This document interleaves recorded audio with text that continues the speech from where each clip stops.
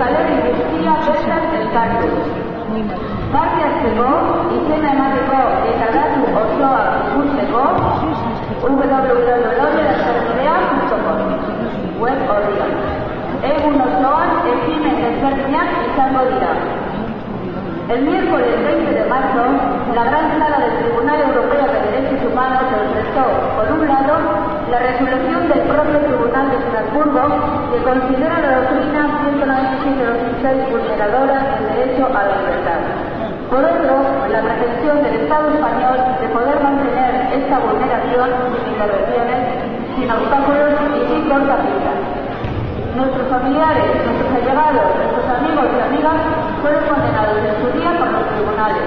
Esta condena tenía su fecha de inicio de cumplimiento y su fecha de finalización. A partir de 2006, la doctrina, que pese a ser contraria a derechos que aplica con retroactividad, somete a presas y presos políticos vascos a una cadena perpetua a la que no fueron condenados, ni a la que en consecuencia nosotros tampoco lo fuimos. Además de medio, otros, otros 91 presos y presas vascos han visto alargado hasta el 12 años su encarcelamiento. Este alargamiento de la pena ha sido comunicado pocas semanas o días antes de la fecha en que deberían ser liberados. En ocasiones, el mismo día que se terminaba el cumplimiento de su condena.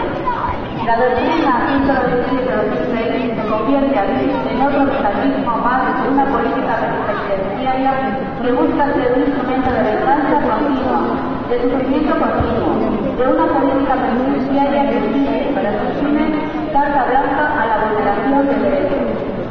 El 20 de un clave. Están en juego los derechos humanos.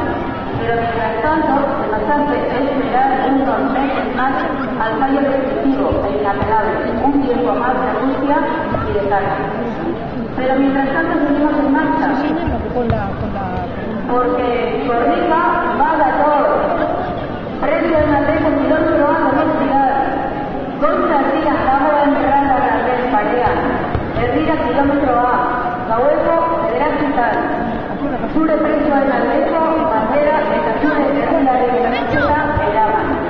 Lekukoa nuko dute dotina horre ikunatua daude presoen familiarak.